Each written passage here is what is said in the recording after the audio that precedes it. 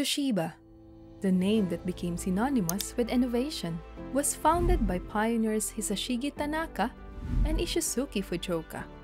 Tanaka, a brilliant self-taught engineer, and Fujioka, dubbed the father of electricity in Japan, laid the foundation for a company that would become a technological giant.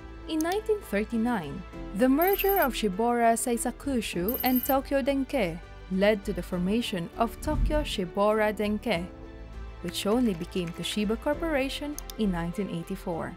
Toshiba began as a beacon of electrical engineering, demonstrating its leadership by introducing the first incandescent electric lamp in Japan in 1890.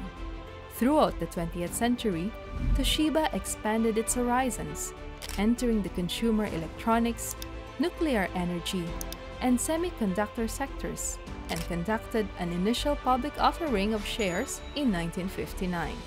This expansion enabled an increase in capital base, setting the stage for subsequent growth. In the post-war years, Toshiba faced the necessity of reconstructing its production and business.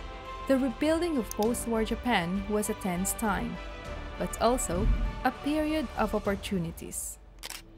Toshiba played an important role in the revival of the national infrastructure, rapidly restoring and expanding its production capabilities.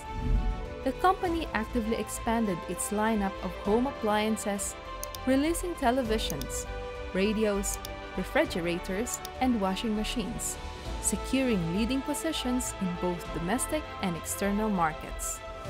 The 1970s were a dynamic period for Toshiba.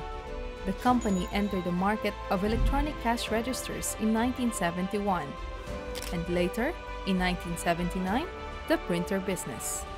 These steps were key in Toshiba's path to becoming a comprehensive provider of business solutions. A breakthrough occurred in 1981 with Toshiba's wireless POS system, and in 1985, the company made history by releasing the T1100, the world's first mass-market laptop. This move reinforced Toshiba's global reputation as a technology leader. Toshiba continued its innovative developments, starting a full-scale barcode business in 1989. However, the company also faced a serious blow in 1987 with the Toshiba Kongsberg scandal in which it was accused of violating an international embargo by selling CNC machines to the Soviet Union. This led to severe tensions between the United States and Japan and subsequent sanctions. The economic slowdown of the 1990s in Japan prompted Toshiba to strategically focus on promising sectors, reforming mature industries, and ensuring the company's resilience. By actively engaging in mergers and acquisitions, Toshiba strengthened its market presence in the field of IT, nuclear energy, and environmental management. This adaptability was critical for its diverse portfolio.